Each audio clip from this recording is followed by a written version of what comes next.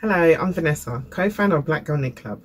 We started Black Girl Knit Club in 2019 after realising there was a lack of diversity for women of colour, especially in the craft industry. During this time, we really just wanted to encourage people to change up their routine and add some more creativity and make something. We hope you like this. Over to you, Simone. Thank you, Vanessa. My name is Simone and I'm the other half of the Black Girl Knit Club. Today I'm going to be showing you how to create your own knitted jersey teacup cozy. Um, so follow our tutorial and hope you enjoy it.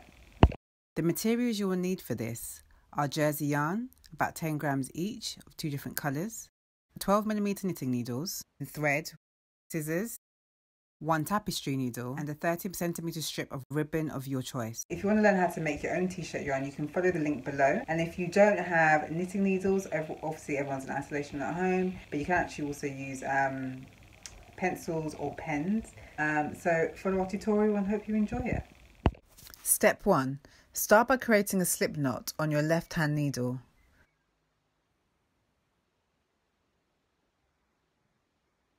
Then cast on 19 stitches onto your left hand needle.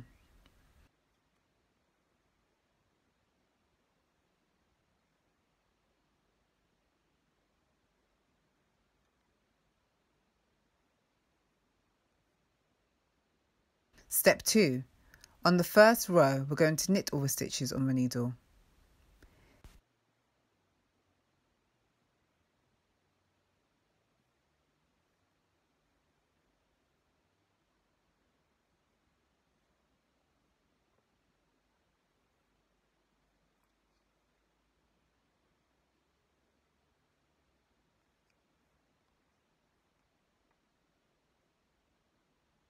Step 3. For the second row, now you're going to purl all of the stitches. This is going to create the stocking stitch.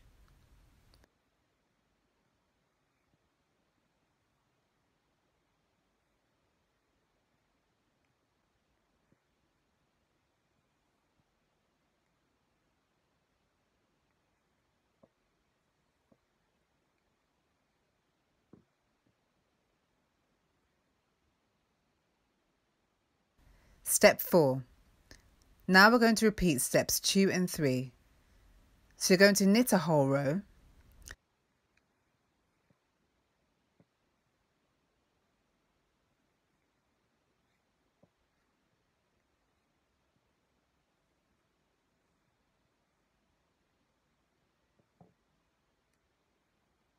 Then working at the back of your knitting, purl a whole row.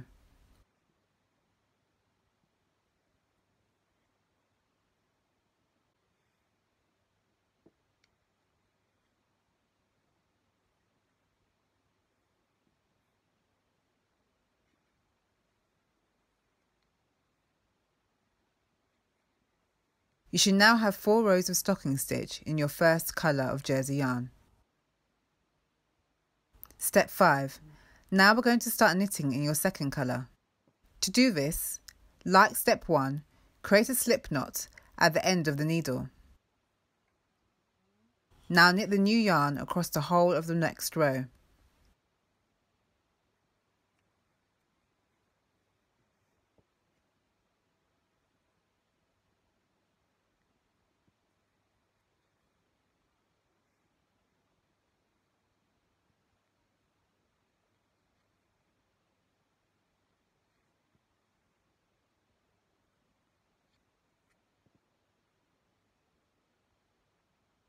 Step 6.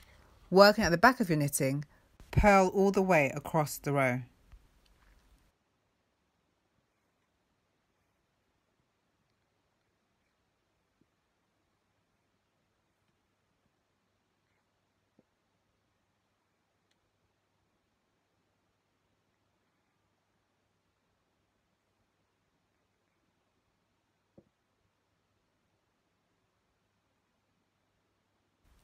Step 7. Repeating steps 5 and 6, you're going to knit another row.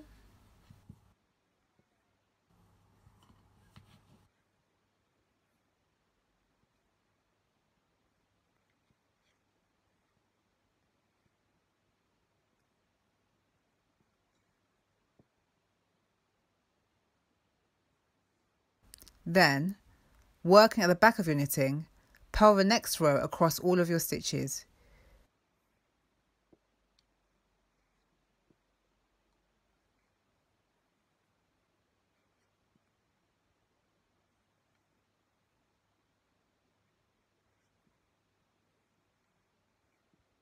You should now have 8 rows of stocking stitch in the two colours. Step 8. You can now begin to cast off your knitting. To cast off, knit 2 stitches,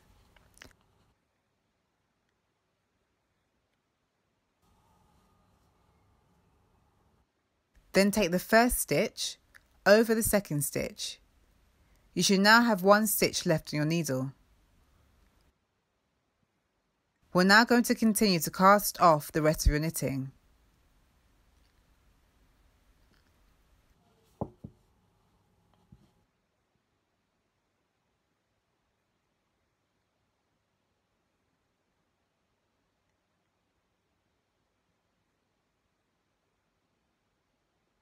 When you get to the end and you have one stitch left on your knitting needle, cut your yarn from the ball and take the yarn through the last loop, making sure it's secure so your knitting doesn't unravel. You should now have a complete rectangle for your mug cozy. Step 9. Cut down the tail ends on either side of the rectangle. Then use your fingers to weave the ends through the back of the purl loop. Make sure it's secure. Then cut the ends off with scissors. Then repeat this on the other side.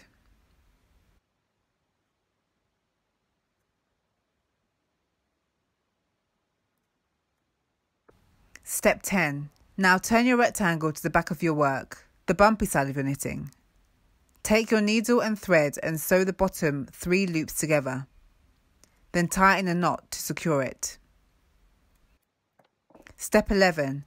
Turn your knitting back to the outside and put the knitted mug cozy over your chosen mug.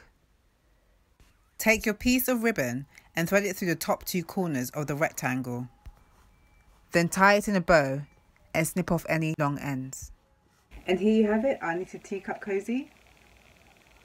Perfect for your cup of tea. Please show us what you've made. You can add us at Black Girl Knit Club on Instagram or Craft Council as well. We'd love to see what you've made. Um, and thank you for tuning into our tutorial.